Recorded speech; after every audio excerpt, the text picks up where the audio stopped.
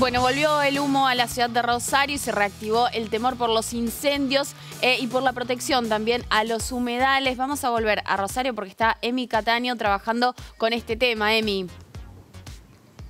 Exactamente, eh, ayer, en la, ayer por la tarde lo pudimos percibir claramente, hoy todavía se siente, como te contaba recién, en las vías respiratorias sobre todo, eh, pese a que mirando el horizonte, eh, mirando, o por lo menos percibiendo el amanecer en la ciudad de Rosario, no, no se observa ninguna columna de humo, ni hay humo en el ambiente, sí se percibe. Por eso molestamos a Estefanía Villalba, ella es integrante de la multisectorial Humedales, para entender un poco qué es lo que ocurrió ayer cómo están la situación, cómo está la situación en este momento y qué se percibe para el futuro, Estefanía, porque tengamos en cuenta que esto eh, recién podría estar comenzando. Sí, otra vez el mismo panorama. Eh, tenemos una bajante que es la niña para este verano, que empieza ahora, y todo lo que fue la helada, que dejó un material fácilmente combustible, eh, que prenden un fuego y ya es un peligro, es un incendio prácticamente. Y nos preocupa bastante eh, que otra vez el retraso en la prevención. Eh, hace unas semanas tuvimos el incendio en Isla Pele, que es a la altura de San Lorenzo, en donde prácticamente el fuego se apagó solo, porque consumió un 99% de la vegetación de la isla. Y ahora este humo que, que estábamos sintiendo, más se sentían mucho más ayer, eh, es eh, cerca de la traza vial de Rosario Victoria. Y son dos focos muy puntuales que, a los que se accede por agua. Y la verdad que, que, que es muy difícil pensar en un combate al fuego y también en una prevención cuando vemos lo, muy rudimentario que hay eh, en, material de lancha, combustible. ¿Y en control?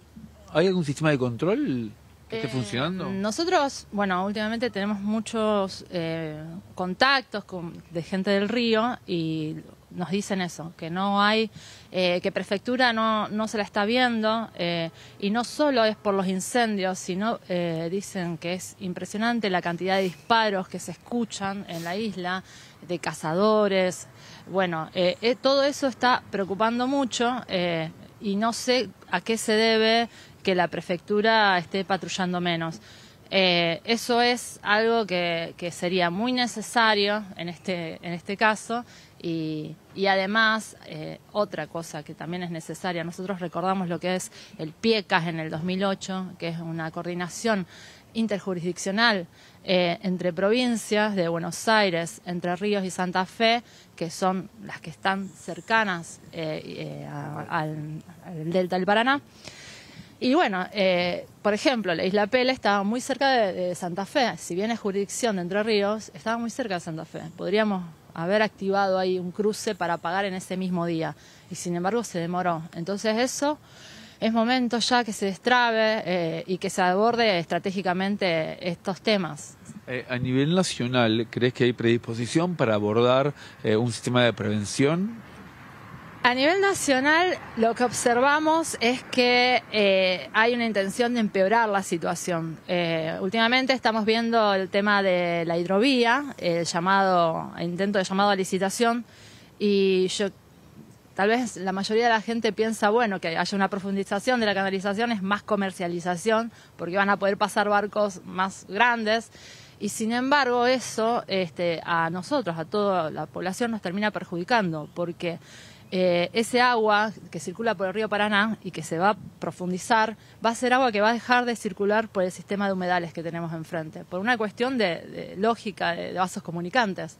Entonces, eh, vemos que, la tendencia es a priorizar eh, lo que nosotros llamamos extractivismo, que es esta forma de tomar la producción como algo este, a toda costa, por más de los daños ambientales, sin estudios de impacto ambiental, básicamente, porque se aprueban eh, rapidísimo, todo para beneficiar inversiones y extracción de nuestra tierra, de las ganancias. Y lamentablemente eso a nosotros nos está perjudicando. Ya sabemos desde el 2020 lo que es el valor de los humedales, que no es solamente esas islas que vemos enfrente. Eh, en los humedales se filtra eh, el agua, es la razón por la cual tenemos agua dulce en Rosario. Entonces, verdaderamente peligra nuestra calidad de vida y por eso lamentablemente, eh, bueno, cada vez estamos más solos en esto, pero sin embargo agradecemos la, atención de la prensa, la atención de la gente que sabe que estamos por, por algo común. El, agua es un bien común y es este, muy necesario, es un derecho humano que tenemos y lo tenemos que defender porque nos compete a todos. Defender la última tiene que ver con un pronóstico o por lo menos qué visualizas para los próximos meses. Bueno, eh, necesitamos trabajar mucho, necesitamos estar, eh, organizarnos nuevamente. Nunca dejamos de estarlo, pero verdaderamente tenemos que denunciar cosas que están pasando, que vienen pasando y que no se están corrigiendo. En este caso son incendios que los podemos escuchar, pero también escuchar, sentir. Eh, pero también están los casos de los terraplenes, también está el caso de quienes ven nuestros humedales como un campo para sembrar, para producir ganado. Así que hay mucha lucha por delante y por favor, es para todos, eh, que la audiencia sepa que, esto es, eh, hay que pensarlo a 30 años, hay que defender los humedales porque hoy tenemos agua dulce, pero los nietos no van a tener esta, esta situación tan fácil.